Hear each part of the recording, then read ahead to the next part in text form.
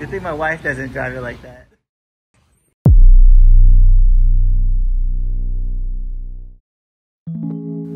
If you're watching this video, you're probably wanting one. If you're needing me to convince you, you can stop the video now and just go ahead and buy it. So why did I buy it? I'm a huge turbo tuner fan and I wanted that whoosh whoosh.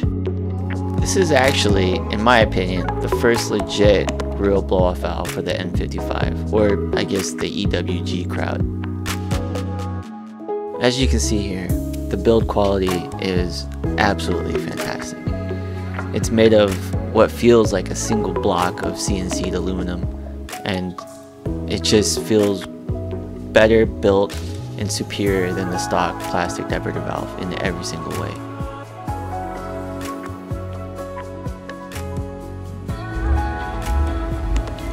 I took it to my guys at Kinetic Motors in St. Louis to do the work.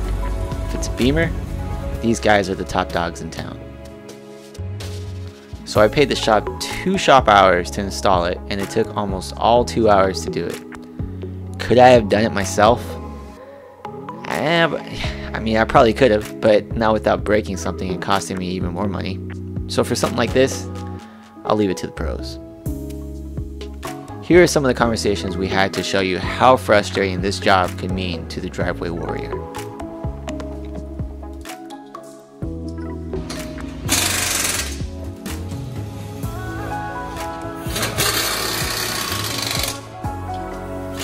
You did you actually? So you just loosened up the water pump? Yeah, so I was able to move this out of the way. Uh-huh. Um, I had to use a, a, a wobble extension with a with a wobble on it, but I was able to get it off. Oh, okay. So the wobble extension. Kind of tight. There's a wobble here too. So now you guys stick your hand in there and get it back in. That's crazy. So it's right there. Wow.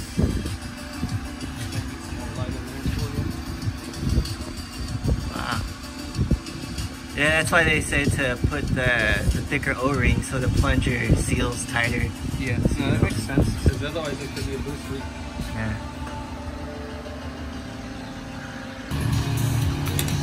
So tell me how much of a pain it was. It was quite a bit. Uh, there's a there's a plate that bolts right here to the water pump uh-huh. um, that I took off and it gave me a little extra room. I had to use a really long ball-headed uh, Allen key to get this top one in. So it was the ball head Allen key that basically allowed you to get deep. Yeah. Well, that and it was it's long and skinny, which gave me just enough room to get where I needed to get. To get to get in there.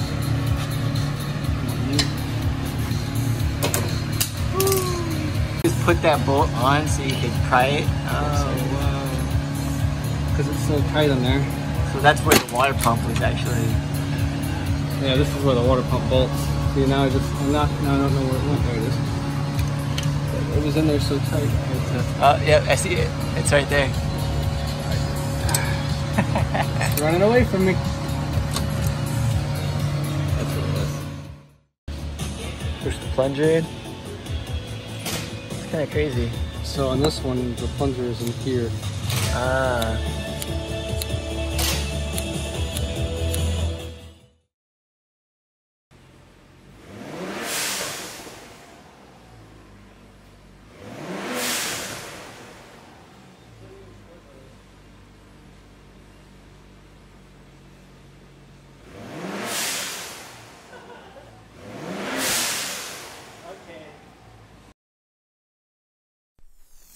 Moment has come. As with any car, right after you mod it, it's like getting a new car.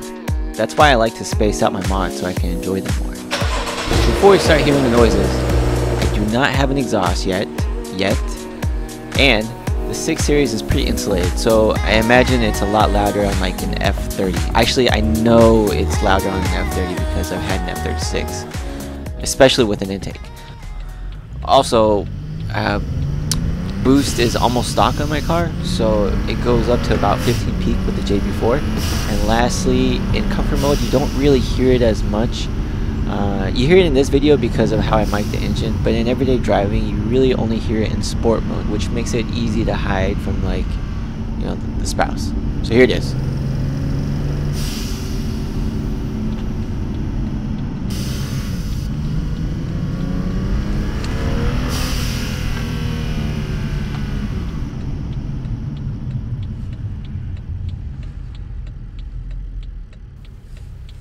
Sound and the sensation of the blow off valve is is really hard to capture in the car.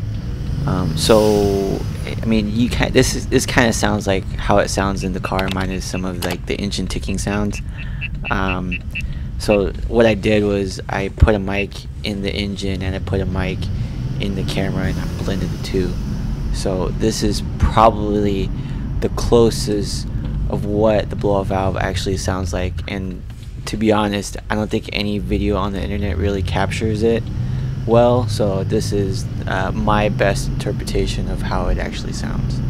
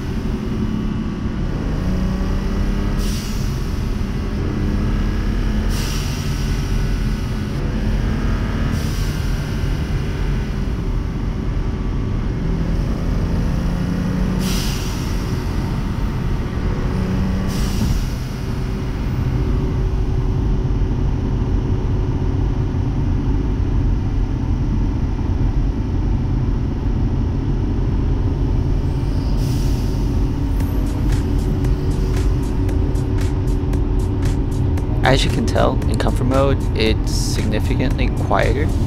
Um, and you really only hear the blow off valve when you let out the gas and that's just how wastegates and blow off valves work. So that's it guys.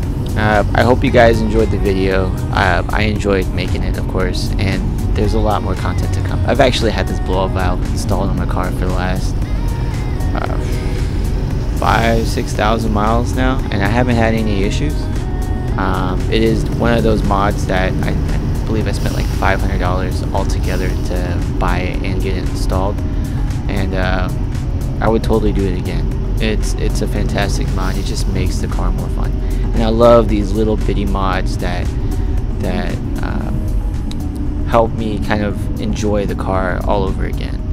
So this is the mod that I have now. I'm probably gonna do another video on the lip um, I'm going to get an exhaust installed soon. Um, so stay tuned, guys. There's a lot to come. Please subscribe. More good content coming. Thanks for watching. Later.